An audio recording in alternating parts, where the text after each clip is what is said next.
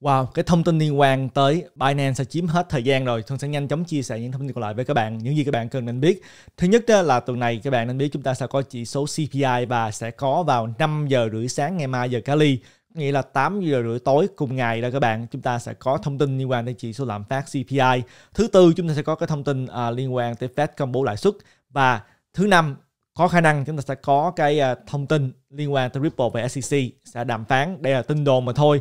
Từ John Hutchinson chúng ta không biết là có thật hay không, nhưng mà các bạn thấy là tuần này là có nhiều thông tin quan trọng tôi cần phải quan tâm đến. Và không những riêng đồng Hoa Kỳ đâu, các bạn thấy được là trong tuần này chúng ta sẽ thấy là thứ năm sẽ là cái ngày mà Bank of England có nghĩa là ngân hàng trung ương của nước Anh cùng với lại cùng ngày đó là ngân hàng trung ương của châu Âu họ sẽ đưa ra quyết định lãi suất các bạn. Chúng ta cũng sẽ biết trong tuần này luôn. Đây là một tuần mà đầy sôi động luôn các bạn. Chúng ta à, cũng nói đến liên quan tới lạm phát thì à, bây giờ dựa theo thống kê từ Fed á, thì người dân của Hoa Kỳ cũng có cái nhìn lạc quan hơn. Họ nghĩ là phần trăm lạm phát giờ này năm sau sẽ giảm xuống còn khoảng là 5.2 phần trăm mà thôi. Đây là một cái tiến triển tốt về cái sự suy nghĩ của người dân. Họ nghĩ là phần trăm lạm phát đã đến đỉnh rồi và đang trên con đường đi xuống. Tuy là không có xuống nhanh như mọi người nghĩ nhưng mà cũng đang trên con đường đi xuống và chúng ta cũng nghe nói tới cái à, nhận định tương tự đến từ CEO của Mastercard. Thì Mastercard cũng nói như vậy đó các bạn. Tuy là phần trăm lạm phát bây giờ đó thì à, CEO của Mastercard nghĩ là chúng ta đã đến đỉnh rồi thì có thể là chúng ta à, sẽ từ từ đi xuống. Nhưng mà hiện bây giờ đó cái phần trăm lạm phát vẫn cao hơn rất nhiều. Trước khi mà có dịch bệnh à, cần thời gian khoảng chừng là vài năm thì cái phần trăm lạm phát nó mới xuống thấp hơn được. Và chúng ta bây giờ hãy nhìn vào những cái nhận định đến từ forward đi. Thì à, các bạn đã biết là CPI ngày mai chúng ta sẽ thấy cái phần trăm à, như thế nào? Thì à, dựa theo những cái nhận định bây giờ là cái số tổng CPI đó nhận định là 7.3% có nghĩa là giảm từ 7.7 của tháng vừa rồi. Và cái nhận định liên quan tới core CPI nghĩa là cái tỷ lệ lạm phát mà không tính lương thực mà năng lượng đó sẽ giảm xuống còn 6.1 so với 6.3 thì nói chung là nhận định là chúng ta sẽ thấy cái phần trăm lạm phát giảm xuống. Hiểu đơn giản như thế này, nếu như làm hay mà cái phần trăm CPI cái à, số tổng mà cao hơn 7.3 thì trường sẽ là rất đỏ đó các bạn. Nếu như mà cái số tổng dưới 7.3 thì trường sẽ xanh lại và cũng tương tự như là core CPI nếu như mà cái số tổng mà hơn 6.1 thì sẽ rất là đỏ. Nếu như mà dưới 6.1 thì trường sẽ xanh trở lại, tại vì chúng ta sẽ biết quyết định của Fed vào ngày thứ tư một ngày sau đó, cho nên chỉ chỉ số CPI này rất là quan trọng. Đó là crypto đó thì chúng ta có cái thống kê hàng tuần đến từ à, đây là tài liệu của CoinShare. Thì các bạn thấy được là trong tuần vừa rồi à, có một số lượng tiền đã trở lên thị trường này. Chủ yếu đó, các bạn thấy được những quỹ đầu tư đó thì bây giờ họ cũng rất là thận trọng. Họ chỉ đưa tiền vào trong BTC mà thôi. Và thậm chí chúng ta thấy được là những đồng khác đó, như là Ethereum hay là Binance thì họ cũng rút ra một phần nhỏ. Và đặc biệt hơn là họ đã rút tiền ra khỏi cái quỹ short BTC có nghĩa là bây giờ những nhà đầu tư lớn đó họ đang không có còn bearish nữa họ không có muốn là short thị trường này nữa nhưng mà họ cũng không có phải là bullish. Họ chỉ đang thận trọng mà thôi có thể là họ đang thử thị trường đem một phần nhỏ trở lại.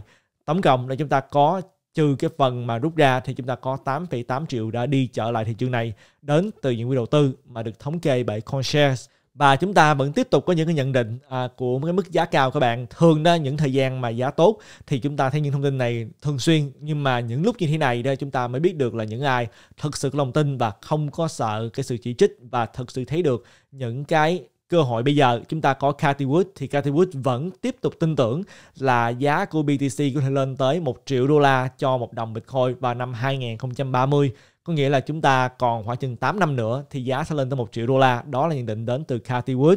Thì tại sao thì Cathy Wood nói là tại vì chúng ta đang thấy một cái sự thanh lọc của thị trường sau cái sự kiện FTX rồi và những cái sự kiện trước đó, thị trường này sẽ còn lại là những công ty vững mạnh và họ sẽ phát triển thị trường này rất là mạnh. Và chúng ta cũng có cái sự nhận định tương tự.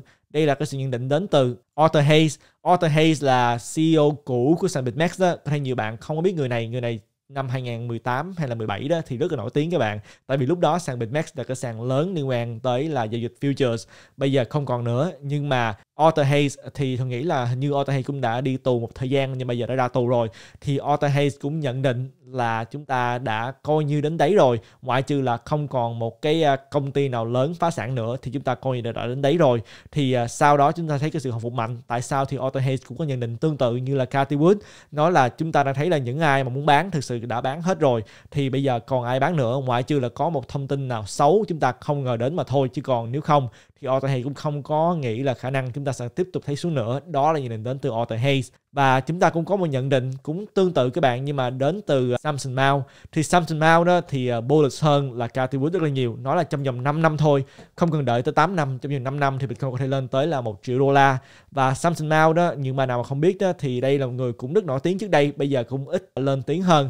Samson Mount đó là CEO của Pixelmatic là một trong những công ty mà làm game ở Trung Quốc cũng như là CEO của công ty Gen 3 đây là công ty mà cũng uh, ủng hộ sự phát triển của BTC thì Samson Mount nói Lý do sao mà nghĩ là sẽ lên tới 1 triệu đô la rất đơn giản tại vì tiền pháp định ờ, sẽ mất giá rất nhiều trong những năm tới đây khiến cho giá của những tài sản nhất là giá của BTC sẽ tăng lên tới cái mức là 1 triệu đô la.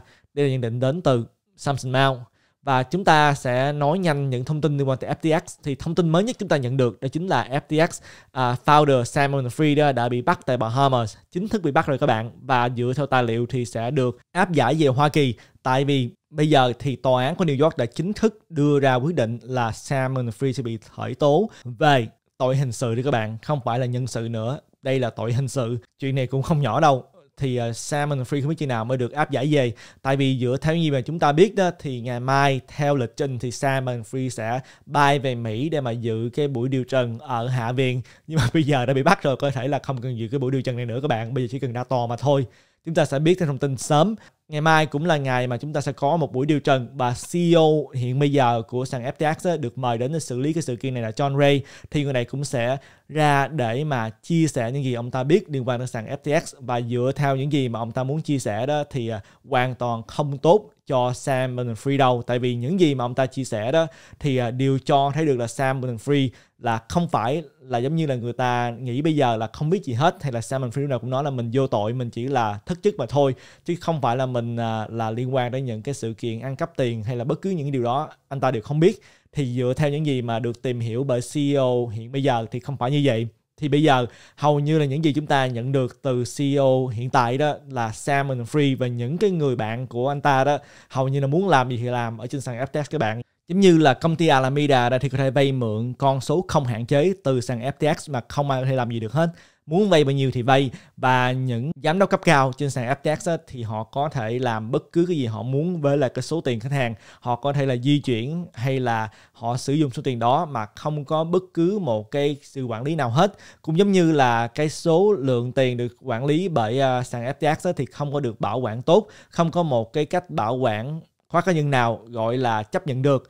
Thêm vào đó đó, chúng ta thấy được là bên dưới này đó thì có một số những cái chỉ trích khác. Nói là công ty FTX hầu như là không có cái cơ quan quản lý rủi ro, cũng không có bất cứ một cái chế độ quản lý tài sản nào gọi là chấp nhận được. Nói chung đó, thì đây là những cái sự chỉ trích đến từ CEO hiện tại và những thứ này đó có thể dẫn đến là Sam Free sẽ có thể gặp rắc rối lớn liên quan tới pháp lý các bạn. Và chúng ta nói tới đây là không phải là về mặt hành chánh. Đây là một cái sự rắc rối liên quan đến luật hình sự các bạn. Không phải chuyện giỡn đâu bây giờ chuyện đã lớn rồi cho nên cách đây hai ngày các bạn mới có cái thông tin là Sam Free đã bỏ tiền ra để mướn một trong những luật sư giỏi nhất mà tiền có thể mướn được. Và không những riêng là Sam Free đâu các bạn thấy được là Caroline Ellison, CEO của Alameda thì cũng đã bỏ một số tiền lớn ra để mà mướn một luật sư. Đây là một luật sư mà trước đây đã làm cho SEC đó các bạn, luật sư rất nổi tiếng là Stephanie Avakian. Đây là một trong luật sư mà đã từng đại diện cho SEC ban quản lý chứng khoán Hoa Kỳ kiện công ty Tesla, Theranos, Facebook và Wells Fargo thì đều đã thành công. Đây là cái luật sư mà được mướn bởi Caroline Ellison và đã có nhiều chứng nhận là Caroline hiện bây giờ đang ở New York các bạn. Các bạn thấy được là Sam bây giờ đã bị khởi tố ở New York và Caroline ở New York thì nhiều người cho là bây giờ Caroline Ellison tự bảo vệ mình mướn một luật sư giỏi và bây giờ đã giống như là thỏa thuận với lại bên tòa án và công tố viên à, để đứng làm nhân chứng và kiện Sam. Có thể là gì chúng ta không biết được nhưng mà nói chung chúng ta đã sắp biết được sự thật và kết quả của hai ngày này như thế nào rồi. Tôi sẽ tiếp tục chia sẻ thêm thông tin với các bạn. Và một người khác nữa đó đó chính là Do Kwon các bạn. Thì uh, dựa theo một số những thông tin thì uh, Do Kwon hiện bây giờ là đang trốn ở Serbia. Các bạn thấy được là Do Kwon trước đây đó thì uh, cũng tiếp tục lên trên mạng xã hội nói là mình đâu có trốn đâu. À, mình đâu có bị ai à, giống như là ra cái lệnh bắt hay gì đâu mà cần phải trốn. Nhưng mà nếu như mà nói tới là về Hàn Quốc thì Dogecoin là không dám về. Và trước đây các bạn đã nhớ là Dogecoin đã rời khỏi Hàn Quốc rồi chạy qua bên Dubai ở bên Dubai đó thì họ cũng đã đi tìm kiếm Dogecoin nhưng mà không có rồi. Dogecoin bây giờ dựa theo tài liệu thì bây giờ đã trốn qua Serbia. Nếu như mà Dogecoin thật sự không sợ thì đâu cần phải đi trốn như vậy các bạn. Wow, đây là thần đầu tiên mà thuận chia sẻ nhiều thông tin nhanh như vậy với các bạn, tại vì video này nó đã khá dài rồi. Thì à, thuận sẽ cố gắng để mà edit rồi đăng video này sớm để mà chia sẻ với các bạn để các bạn hiểu rõ hơn về tình hiện tại và đây là tất cả những thông tin mà Thuận muốn chia sẻ với các bạn trong cái video ngày hôm nay. Thuận hy vọng là các bạn nhận được nhiều giá trị trong cái video này. Và những người nào muốn tìm hiểu những ưu đãi dành riêng cho cộng đồng Thuận Capital thì hãy bấm vào cái link bên dưới cái video này để mà tìm hiểu những ưu đãi như là các bạn có thể nhận được bonus hay là giảm phí giao dịch lên tới 30% khi mà tham gia vào những sàn như là OKX, Bybit hay là Binance, một số những cái dịch vụ khác như các bạn nhìn thấy trên màn hình. Một lần nữa những sàn giao dịch thì các bạn chỉ nên dùng để mà giao dịch chứ không nên lưu trữ quá nhiều tiền trên đó. và và Thuận sẽ hẹn gặp lại các bạn trong cái video kế tiếp. Tạm biệt các bạn.